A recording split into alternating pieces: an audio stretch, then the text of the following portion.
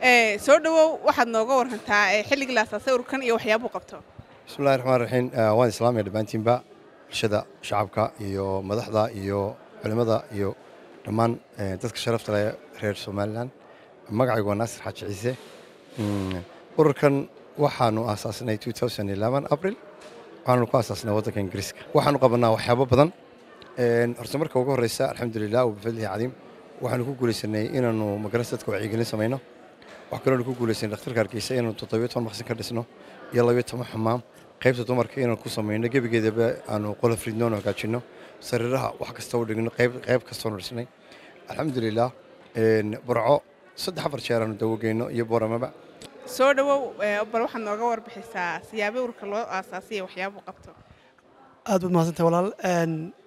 Ururkan waxaa laga aasaasay waddanka ingiriiska gaar ahaan magaalada cardiff dad walaala oo muxsiniina oo wanaagga jecel oo maxaa la idhahdaa doonaya dadka xanuunsanaya ee dhimirka wax ka qaba ee dayacan iyaguna naftooda dhibaato ku haya mujtamac ay ku dhex nool yihiin dhibaato ku haya ayaa maxaa la idhahdaa ay u kaceen waana dad mutadawiciina falantiyaar ku shaqaynaya way soo gudbeen halkanay yimaadeen cisbitaallada waaweyn ee gobollada oo dhan ee dhimirka qayb lixaadlay ka qaataan soo dhowow waxaad nooga warantaa xilligii ururka la asaasay waxyaabaha uu qabto.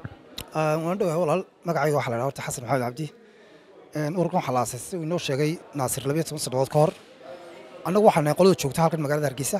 Ee ururka fariisika u samaysa amba dadka xanuunsanaya guryaha ku soo booqata. Marka taargetkaygu horta waxa weeyaan in dadkeenna aan guryaha jooga ee aan cidina cilaaj geynin dhaqaalo badan aan haysan inaan guryaha ku booqanno. Dawooyin iyo dawo iyo wixii ay u baahan yihinna aanu halkaa ku siino marka dadkaasoo waxaa laga yaabaa inay hooyo laba carruur haysta ay labadiiba ka bukaan mid saddex haysta saddexdiiba ka bukaan. Markaa kuwa guryaha loogu tegayo dawo waxay u baahan yihiin raashin dhar daryeel taargetkayga horta annaga waa caynkaas. Waxaanan ka mid ahay dhallinyarada halkan ka shaqaysa ee ku qoran inay dadka si volunteeriya ugu shaqeeyaan. Bismillahi raxmaan raxiim ururka waxyaaluu qabtay iyo siduu shaqeeyo waxyaaluu qabtay gala caawa annagii ku soo bandhignay halkan waxqabadkii labiyo tobanka sannadood. Waxaa ka mid ah cusbitaalka hargeysa dhimirka oo toddobiyo toban maqsin lagu kordhiyey. Waxaa ka mid ah kitchenka cuntada lagu kariyo cusbitaalka hargeysa oo samaynay. Waxaa ka mid ah inaannu ramadaanta ramadaan kasta dadka dariiqa daadsan ee xanuunka maanka qaba inaannu quudinno.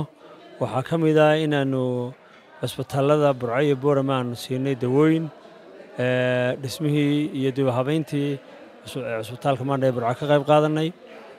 Waxaa kaloo ka mida inaannu samayno galaangal iyo lobin u samayno xanuunada maanka.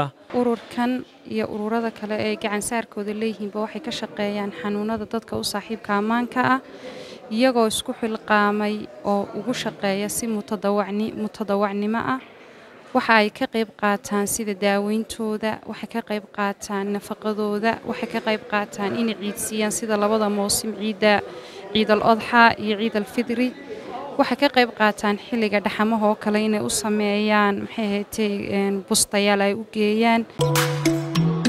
National electronics waa hoyga agabka elektrooniga national electronics waa dooqa dadweynaha